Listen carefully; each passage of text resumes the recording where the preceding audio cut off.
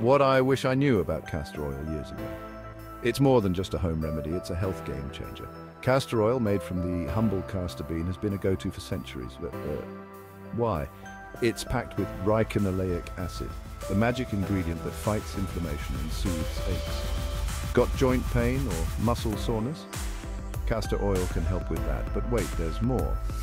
Struggling with constipation? A small dose of castor oil can get things moving. And for beauty buffs, it's a dream come true.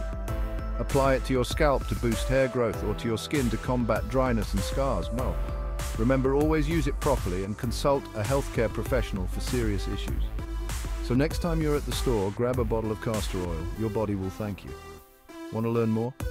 Hit that like button and subscribe for more health tips.